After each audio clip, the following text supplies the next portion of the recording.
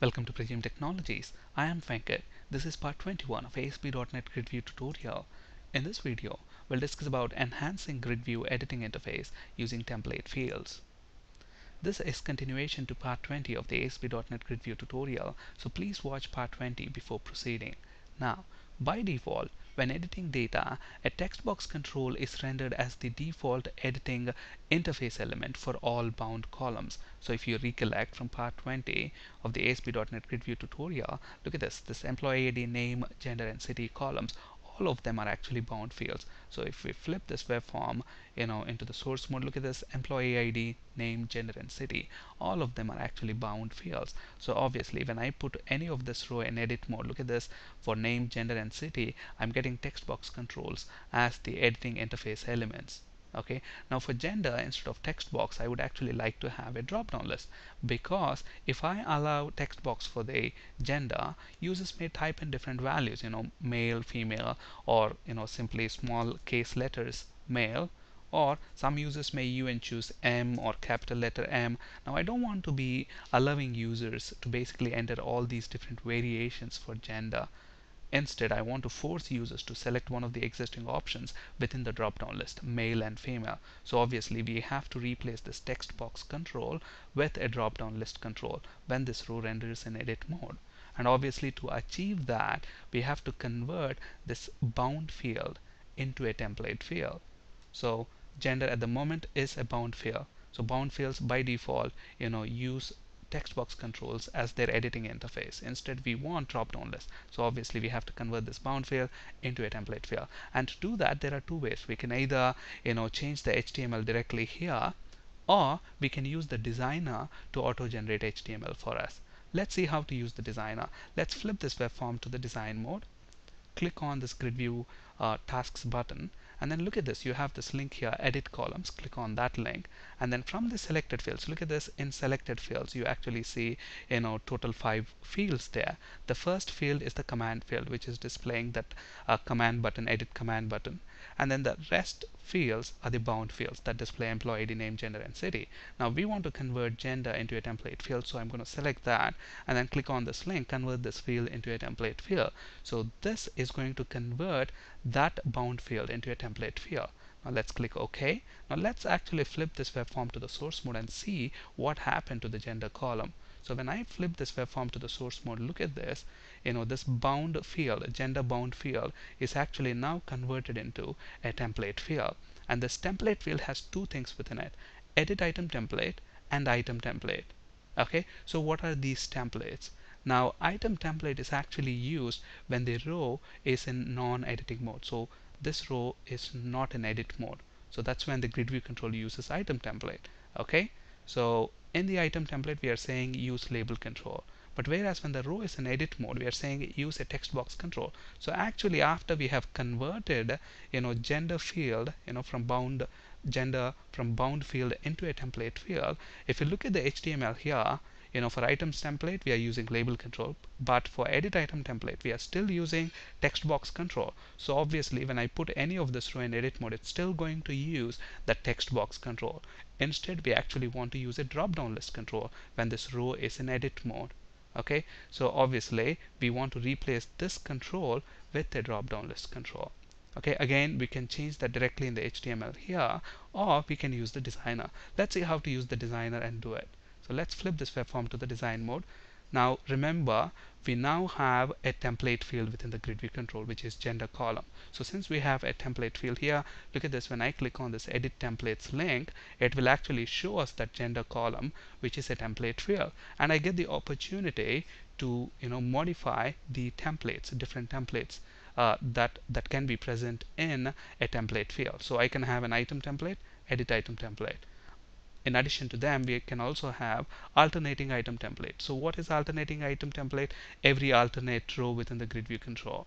And then we can also have templates for header and footer. But for the purpose of this demo we are just going to have an item template and edit item template. Look at this.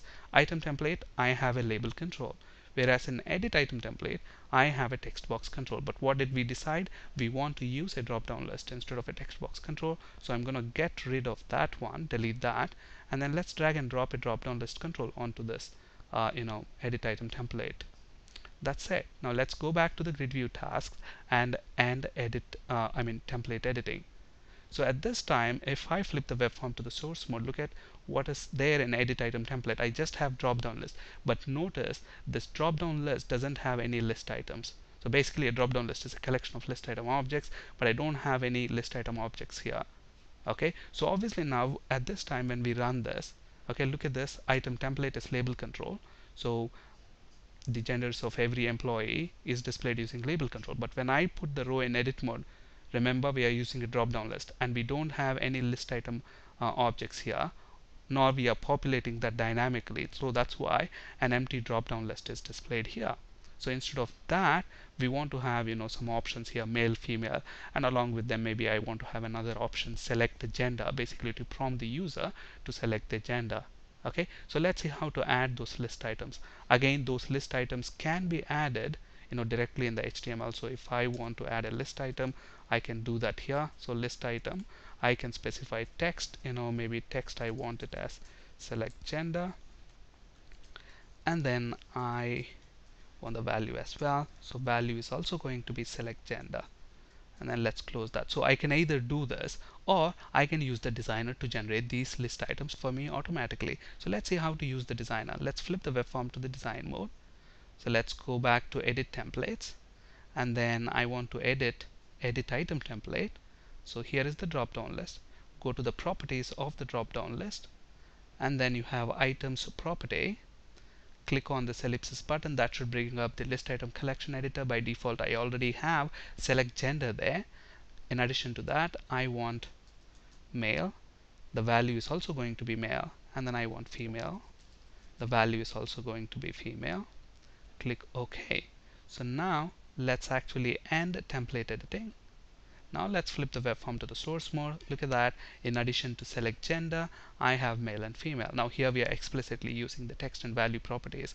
Since text and value are same, I can either use you know this variation of the HTML or simply use select gender, just like how we are using it for you know male and female. So I can do that as well. Alright, now let's go ahead and run this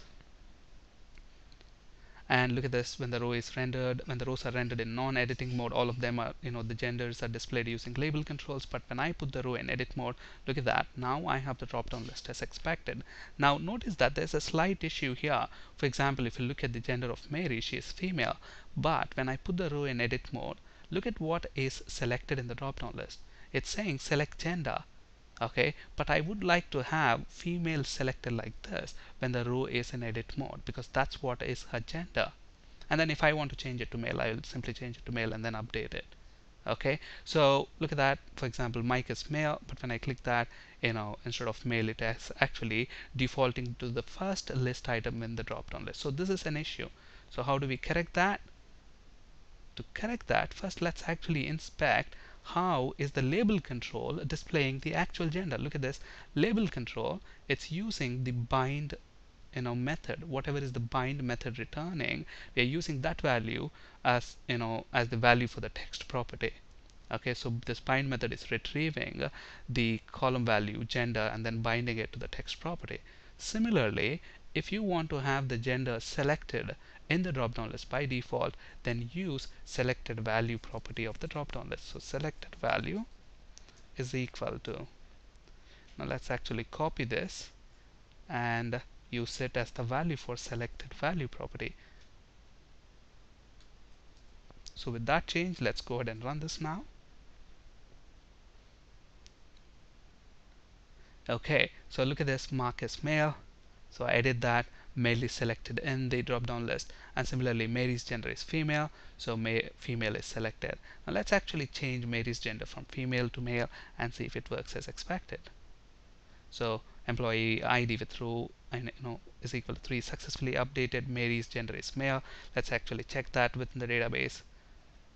So Mary's gender is male as expected so we have seen how to enhance the editing interface element uh, using template fields. It's actually very simple. So if you notice, you know, all the steps that we have done using the designer all it has done basically is convert that bound field into a template field you know in the item template I'm using a label control whereas in edit item template we are using a drop down list control now look at this this drop down list has these list items statically defined on the page at design time okay? In reality you may have you know drop down lists like cities drop down list or departments drop down list etc now if you want to dynamically load them we simply use maybe another data access layer method which retrieves the data and bind it to the drop down list. Probably we'll talk about that in a later video session. Alright on this slide you can find resources for ASP.NET C Sharp and SQL Server interview questions. That's it for today. Thank you for listening. Have a great day